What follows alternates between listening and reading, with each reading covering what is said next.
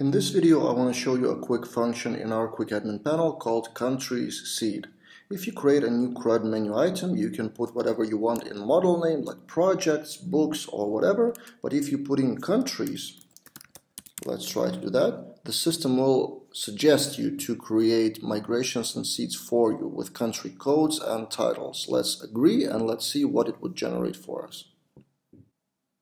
Okay, the code is generated. Let's view the code and I will show you exactly what has been generated. First, country model with soft deletes because all our models are created with soft deletes by, by default. And then in, if you scroll down, database, there should be database countries. So countries table migration with name and short code.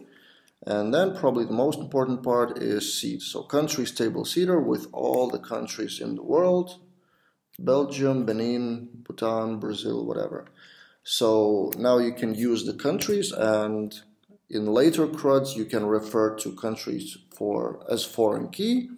And also if you want to use that outside of our Quick Admin panel, we created a seed and database in a separate repository and I will link that in the YouTube video below in the description.